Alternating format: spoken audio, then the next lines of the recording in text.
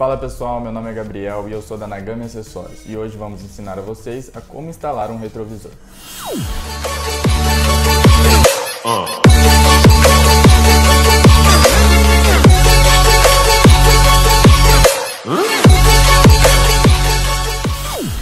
Começamos esparafusando o retrovisor, usando uma chave Phillips, uma fenda, uma Torx ou um canhão. Depois só encaixar corretamente o retrovisor. Primeiro o controle, depois os encaixes. E depois, logicamente, parafusar tudo de novo. E o seu retrovisor está instalado com sucesso.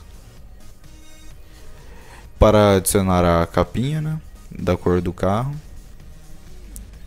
é só retirar e colocar desse jeito. Não tem erro, confirma se está realmente encaixado. E ele está prontinho.